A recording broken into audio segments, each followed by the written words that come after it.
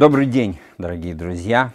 А, Мы продолжаем говорить об отцовстве и домашнем периоде развития человека. Сегодня я хотел бы поговорить о следующем периоде, это 4-5 лет, а, который, а, на мой взгляд, в жизни мальчиков играет ключевую роль, потому что я бы этот период озаглавил одним потрясающим словом – ответственность.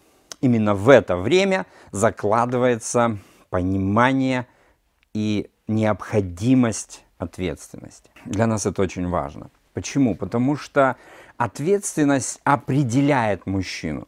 Не сила, не успех, не власть, не э, какие-то другие вещи, а именно ответственность. Умеешь ли ты брать на себя ответственность? Умеешь ли ты противостать трудностям? Можешь ли ты взять ответственность за свою семью, за страну, за что-то еще и решать эти проблемы? Так вот, именно в этот период закладываются основы ответственности.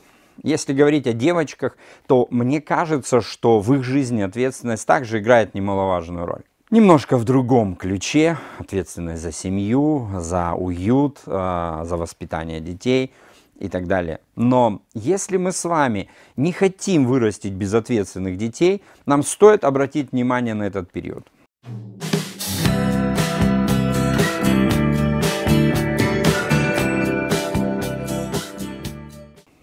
В этот период мы учим детей трудолюбию и ответственности. Именно в это время нам нужно приучать их к работе.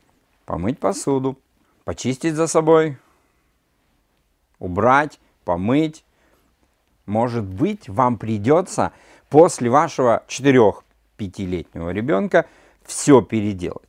Но знаете, когда моя младшая дочь, которая сейчас 4 года, она моет посуду, делает это с удовольствием, лихо, но после этого приходится не только перемыть всю посуду, но и пол э, в кухне, по крайней мере, вокруг раковины и столешницу. Потому что она еще не имеет навыков, но у нее есть желание быть полезной. И она с огромным таким усердием и радостью это делает у родителей может возникнуть искушение прекратить это, потому что вы это сделаете лучше и быстрее, ну и зачем напрягать ребенка. Не делайте этого. Позвольте вашему ребенку быть полезным. Вы научите его быть трудолюбивым и ответственным. Потихонечку стоит начать перекладывать на него ответственность, как минимум за мытье своей чашки и тарелки, за уборку своей комнаты, своей кровати. Начните с того, чтобы делать вместе, потом, когда вы просто находитесь рядом, а потом просто приходите проверять. И поверьте, это будет еще одно семя, которое поможет вашему ребенку обрести ответственность. Если вы это упустите, потом придется добиваться того же дисциплинарными методами. А это уже не очень хорошо.